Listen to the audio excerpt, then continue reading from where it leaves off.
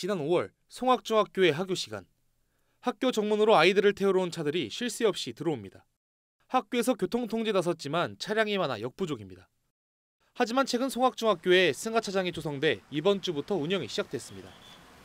승하차장 전용 좌회전 차선이 생겨 학교 안으로 차들이 순차적으로 들어오게 되면서 차량의 주정차로 복잡했던 학교 정문 상황이 개선됐습니다.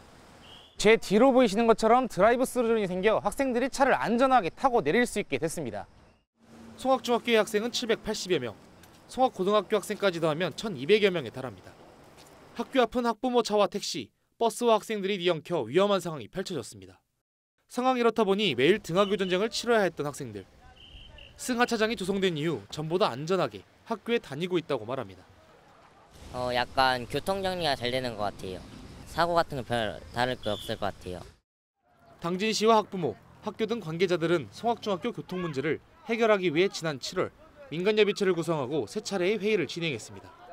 이들은 회의 결과를 토대로 승하차장 운영 개선과 인근 도로 확장에 나설 예정입니다. 송악중학교 인근 도로는 지방도로 충청남도에서 관리하는 도로입니다.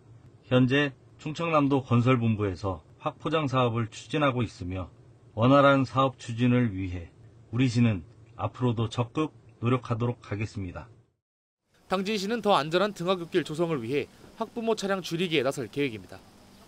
오는 10월 중으로 등하교 시간에 통학버스를 약 5회 증차하고 현재 중형버스에서 대형버스로 규모를 확대할 방침입니다. 헬로티비 뉴스 정호석입니다.